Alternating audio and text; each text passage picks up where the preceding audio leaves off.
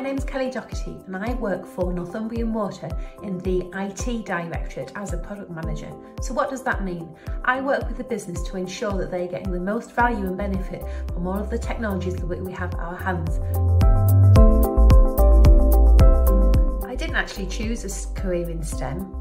Following university, I took a temporary job with my local council as an IT help desk assistant. That turned into a permanent role and 21 years later I'm still working in the field of technology and I absolutely love it.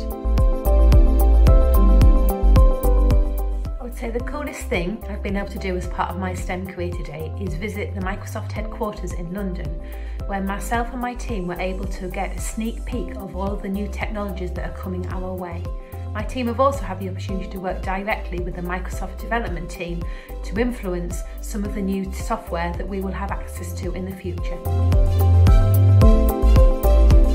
The advice I would give to my younger self is don't worry what others think, believe in yourself and be confident and it's amazing what you can achieve.